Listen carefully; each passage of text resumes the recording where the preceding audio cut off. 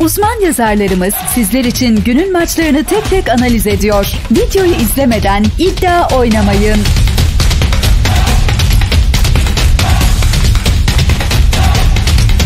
İngiltere Premier Ligi'nde Tottenham ile Ipswich Town karşı karşıya geliyor.